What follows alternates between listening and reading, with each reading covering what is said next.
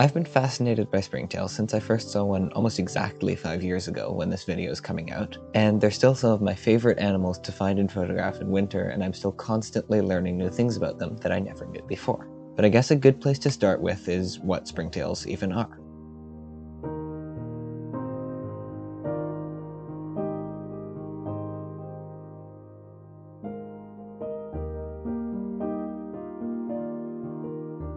Springtails are an order of arthropods, which are very closely related to insects, but actually not insects themselves. They are, however, still hexapods, meaning that, like insects, they have six legs. Springtails can be found on every continent, including Antarctica, and can adapt to all kinds of different, very extreme habitats. The oldest known springtail is a fossil from the early Devonian period, around 380 million years ago, and that makes it one of the first known fossils of land-dwelling animals. Now in many parts of the world, springtails are among the most abundant animal groups, and they play a vital role in soil ecology by eating dead organic matter and helping with decomposition.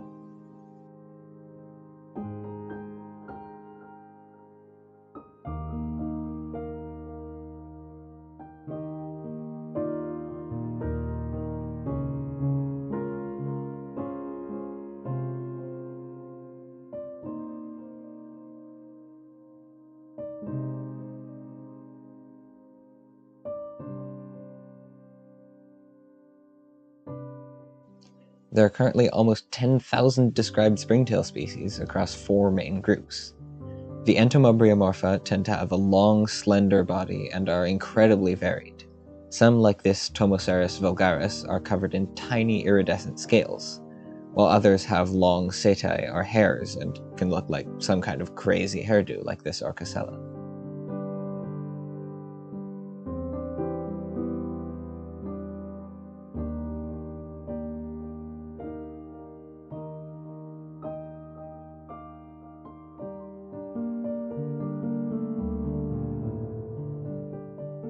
The next group are the Symphypleona, or globular springtails, and I mean, it's pretty obvious where they get their name from.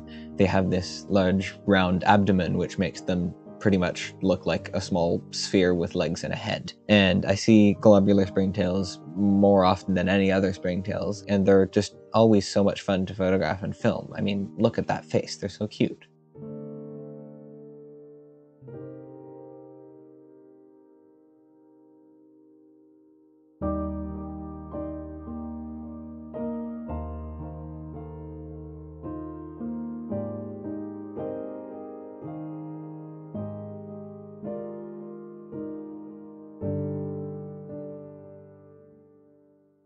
Next up are the Poduromorpha, which are more slender than globular springtails, but still often kind of oval in shape. And they tend to be less covered in scales or hairs than Entomobryomorpha, with more of a smooth, lumpy surface.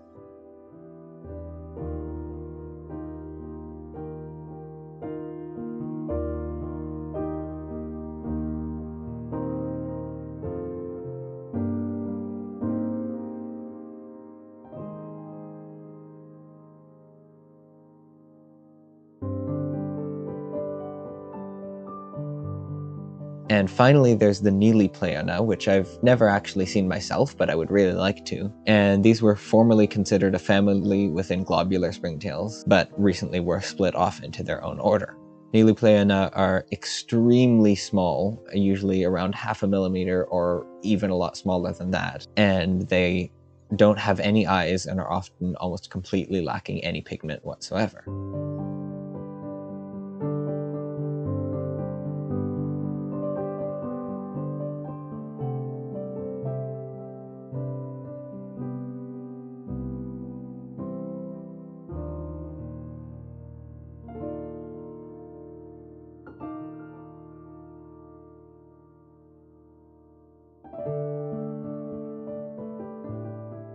So one really cool thing I've been seeing more and more often recently are springtails infected with various different kinds of parasitic fungus. And these fungi infect the springtail and cause the abdomen to expand and the spores develop to be released to be able to infect more springtails. And this individual in this photo was really exciting for me to find because it was at an angle where the head was actually still visible, which means that I could get a portrait image. And this photo is also my biggest focus stack ever with, I think, 183 individual frames, which took a really long time to process, but I'm super happy with the result. And just being able to get this angle already makes it much more interesting than some of my other pictures I've gotten of parasitized springtails before.